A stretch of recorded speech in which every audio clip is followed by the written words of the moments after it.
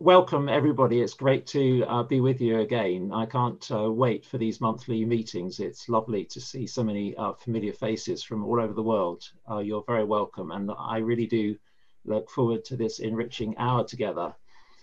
Um, you may have come here through a mail shot that talked about um, us being in a phase now of rebuilding and how maybe in that phase we can look to Nehemiah as an example. Uh, we're hearing now a lot of politicians talking about we need to rebuild, but we need, need to build back better.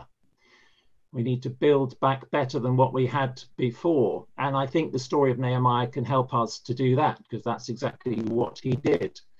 But um, with regard to this next hour, we're going to be thinking how we can rebuild back better using emotional intelligence we often think of uh, God, even non Christians think of God as being a supremely intelligent being, but we don't always think about God's emotional intelligence. And I've been thinking about this leading up uh, to this get together and thinking how the Holy Spirit is a supreme source of emotional intelligence you probably uh, know these words from Galatians 5:22. The fruit of the spirit is love, joy, peace, patience, kindness, goodness, faithfulness, gentleness, and self-control what an amazing list, what an amazing summary of the emotional intelligence that the Holy Spirit grows in us as fruits of the Spirit. So we look to the Holy Spirit to grow those uh, virtues, those, those aspects of emotional intelligence within us. But there's also steps that we can actively take. It's not a passive thing of just allowing the Holy Spirit to do this. We can do something to help that growth of that fruit. And so I want to read another passage, and it's uh, just a verse from Philippians 4, verse 8, where Paul writes, Finally, brothers and sisters, whatever is true, whatever is noble, whatever is right, whatever is pure, whatever is lovely, whatever is admirable, if anything is excellent or praiseworthy, think about such things. Think about such things. It's an unbelievably positive mindset that's being encouraged here, isn't it? And for me, that provides the key for how we can allow the Holy Spirit to grow emotional intelligence with us is actually to take this step and to take it on a regular daily basis. And I think some of this will be underlined in, in Karen's talk, because it's been found to increase well being by well being scientists that aren't Christians. They find that those that do take time to think about what's going well in their lives however dramatically wrong they're going, there must be something that's good that has happened today to think about that, to, to preferably uh, put it in a journal and to give thanks for it, whether people are Christians or not, just be thankful that it's happened. So I think there's um, emotional intelligence on offer, and I think there's a key to unlocking it. And so um, I'm really excited to uh, hand over now, uh, just after I pray at least, to Karen. She's going to introduce herself, um, but she is the uh, author of this book, and uh, I can prove I've got a copy, Call to Influence. She'll mention it later. I do recommend it, and it's about uh, leadership and uh, the call to leadership. And most of what she says today is contained in some of the chapters in that book, especially on uh, the importance of relationships. So let's pray for her and then we turn over to her. Let's pray.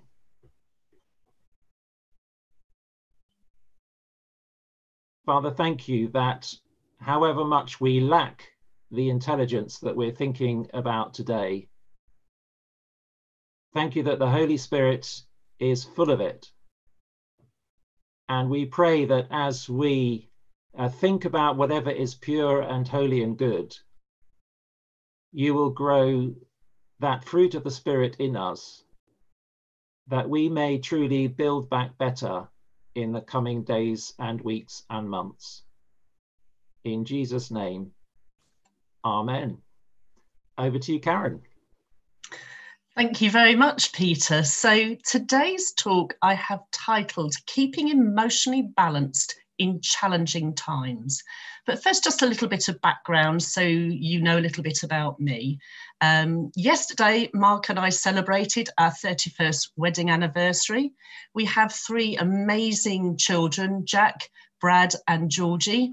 And I would be remiss if I didn't give you a picture of the final member of our family who's probably enjoyed uh, the whole lockdown experience the most, and that's Eli, Eli our 45 kilo Lebanese.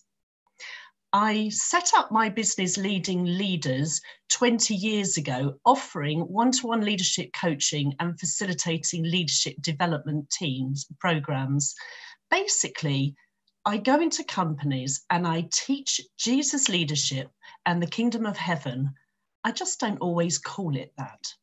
And my experiences of learning to navigate this journey led to writing my first book that Peter has mentioned, Called to Influence How to Become a Kingdom Style Leader in Your Workplace. And it does have three chapters on relational leadership that expands on what I'm going to be covering today. And then, very excitingly, um, in February this year, we launched our modular group training series, which is um, applicable not just for uh, church settings, but also for work based Christian groups. And again, that has a whole module on cultivating healthy relationships. Both the workbook, uh, which accompanies the training series, and the book are available on our website, www.calltoinfluence.com. I'm sure many of you will have struggled at some point over the last 100 days of lockdown emotionally. And in these extraordinary times, more than ever, successful business requires us to keep a constant flow of conversations and connection with people, whether it's our clients, our suppliers, customers, work colleagues. People make a business, and through these relationships comes the opportunity to influence and lead like Jesus. But being relational, it requires us to manage our emotions so that relationships can remain healthy and strong. Emotions are part of us. They're neither right nor wrong. It's how we manage them that makes the difference. And the Bible clearly warns us about double mindedness, that we must be aware of Satan's deception and how he tries to break down relationships. In James 1 6, like a wave of the sea, blown and tossed by the wind, that person should not expect to receive anything from the Lord. Such a person is double minded and unstable in all they do. And emotions steer us in many directions, affecting our mood, our tone, and our behavior daily. Many are actually taught that emotions are bad.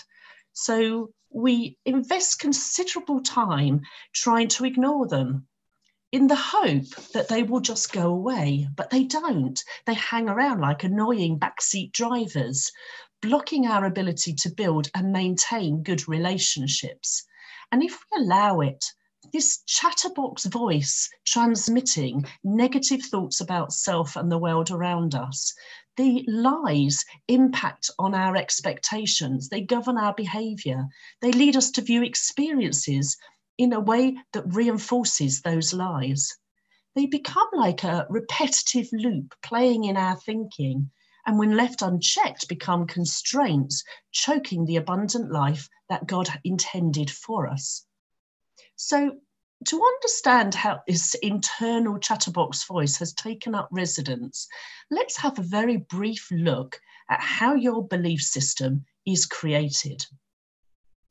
So if you imagine at birth, when you come into this wonderful world, you come in with a clean belief system, a bit like an empty memory stick. But from day one, you gather and absorb information. Everything that happens to us, what we sense, we feel, we hear, we see, actual and importantly also perceived, we store it all. We take things personally. At a very early age, we start to make positive and negative decisions about ourselves and the world around us. By seven, we have sorted and refiled all this evidence and start what we call the comparison game, judging and comparing ourselves against other children. Is she prettier, cleverer, popular?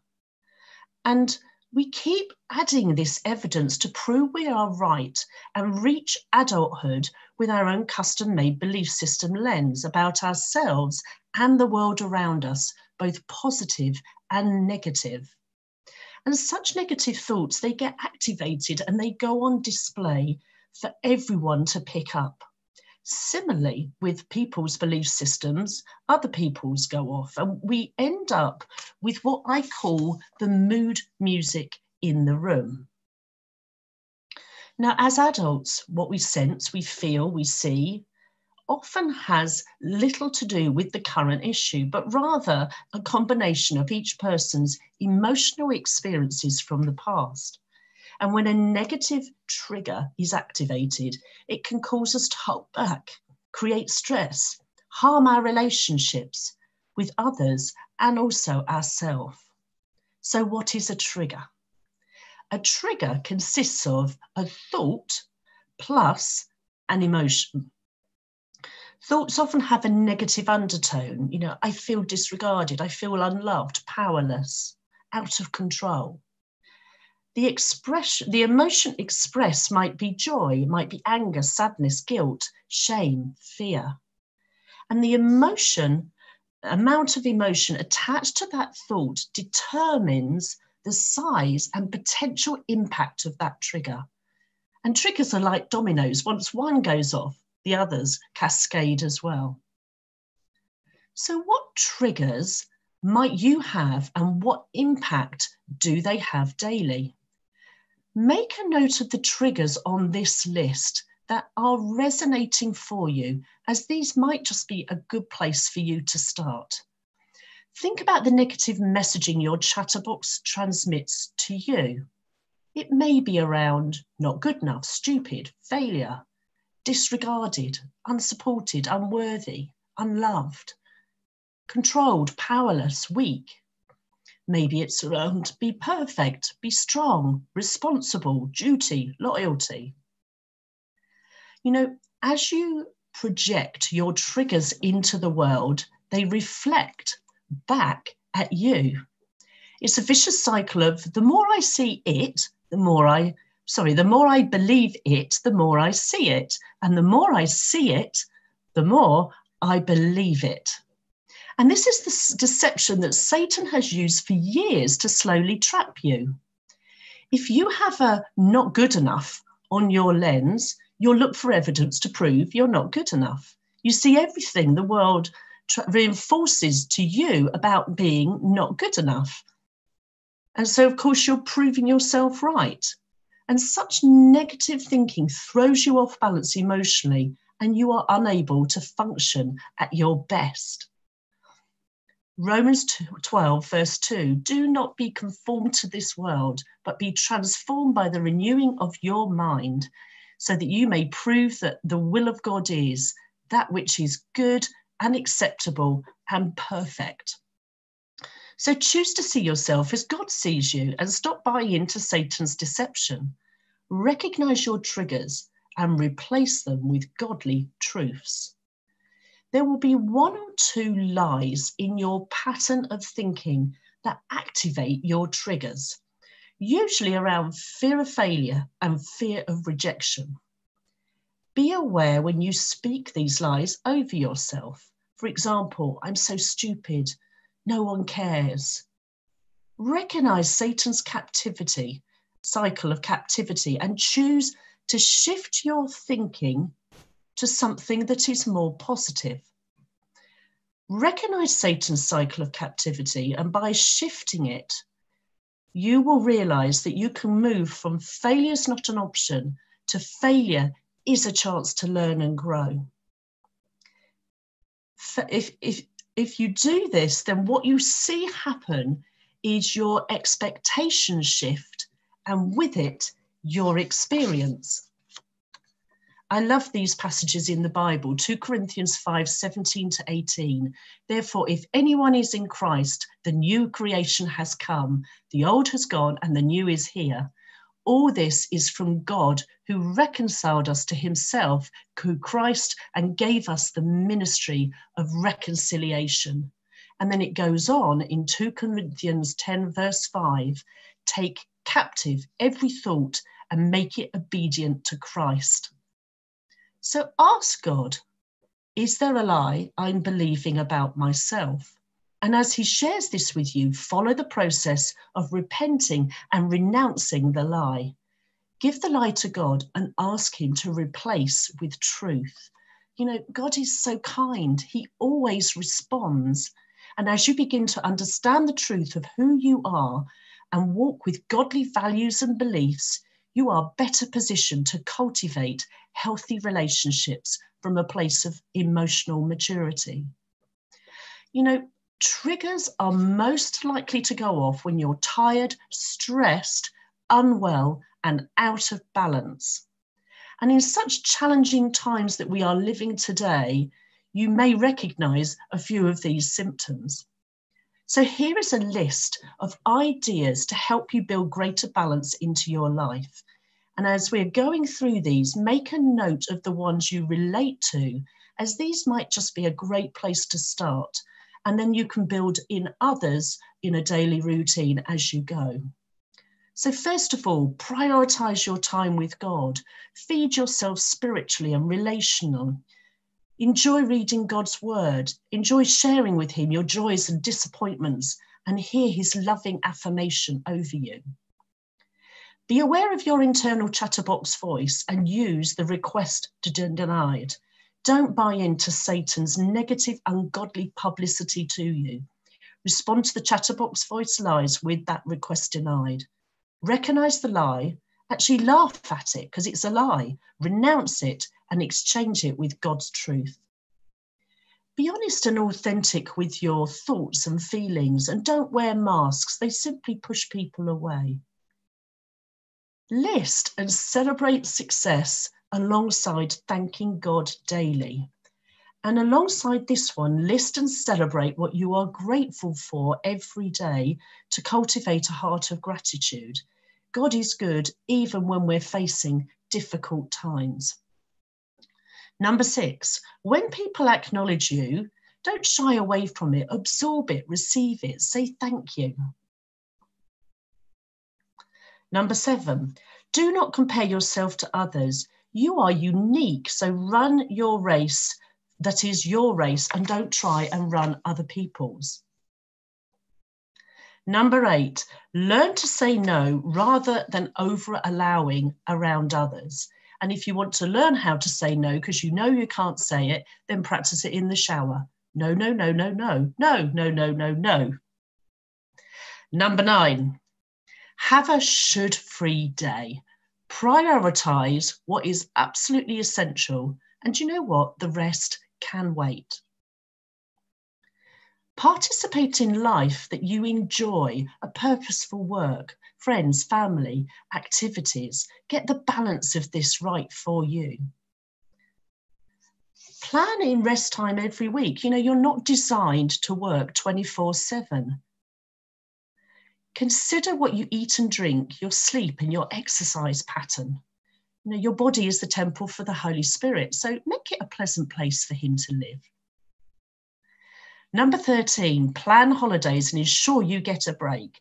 And do you know what? Your laptop and your mobile phone can both stay at home because the world of work can exist without you. And finally, set and write down goals, review them regularly. We have a father who is so lavish, he loves to bring forth big dreams. So I hope you have found this presentation helpful having greater awareness of your emotional intelligence, and using this list will help you keep emotionally balanced in challenging times.